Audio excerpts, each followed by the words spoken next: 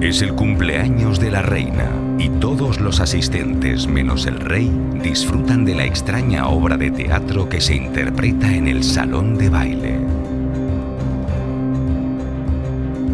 El escritor Francisco Miguel López nos cuenta cómo esta representación se entrecruza con la historia de un aldeano que junto a su yerno luchará para rescatar a su hija.